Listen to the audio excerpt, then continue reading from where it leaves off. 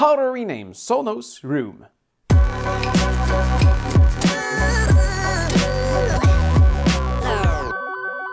Grab your smartphone and open the Sonos application. On the lower right corner, hit More, then Settings. Reach Room Settings and select the room you want to rename. The second option here is to rename the room. You can either type it or select it from the list. Finally, hit OK. Then we are done. So this is it. Thank you for watching. I hope it helps. If yes, please make a thumbs up. If you have any question, please ask in the comment below. I may simply answer you or even maybe make a video just for you. So don't forget to subscribe. And what you do see back there, it's from my main channel. So please come take a look at this right there. Thank you for watching again. See ya!